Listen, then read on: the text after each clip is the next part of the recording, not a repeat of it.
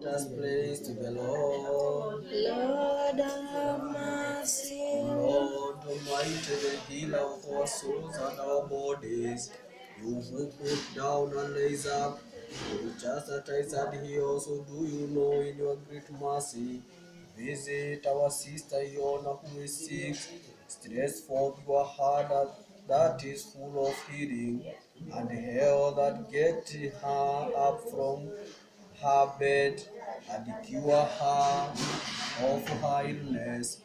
Put away from her, put away from her the spirit of disease and of every malady, pain, and fever to which she is bound. And if she has sinned and transgressions, grant to her remission and forgiveness.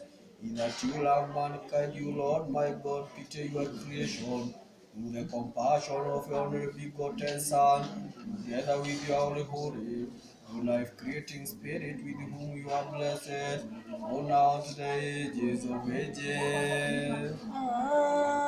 Let us praise to the Lord. Lord have O mercy. Lord our God, who by word alone did heal all his diseases, who did cure the king's women of Peter, just and we and heal according to your goodness, who are able to put aside every murder and infirmity, you yourself and the same, O Lord, grant it to your servant Iona, and cure her every sickness, of which he is grieved, lift her from his bed, and pain and set down upon her your great mercy.